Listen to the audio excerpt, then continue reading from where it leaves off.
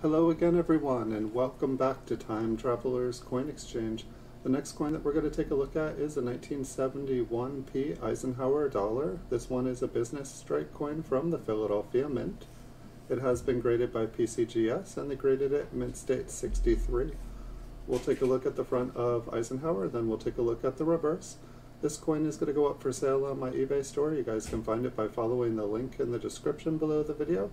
It'll take you to this exact Eisenhower dollar on eBay. Once there, you can also take a look at over 3,600 PCGS graded coins for sale.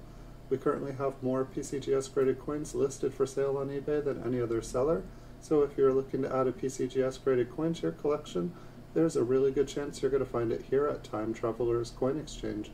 Whenever you do purchase a coin from our eBay store, you can enter the 7 or 8 digit cert number on the PCGS slab into a YouTube search browser bar, It'll bring up a video of the exact coin you've purchased. If you guys enjoyed the videos, feel free to check out the other 6,100 that I've made in the past year. Uh, hit the like, share, and subscribe button if you enjoy them, and turn on notifications as I do make new videos daily. I also do a live stream called The Coin Vault Has Opened on Wednesdays and Saturdays at 9 p.m. Pacific Time here on YouTube. Thanks for watching, have a great week, and see you all in the future.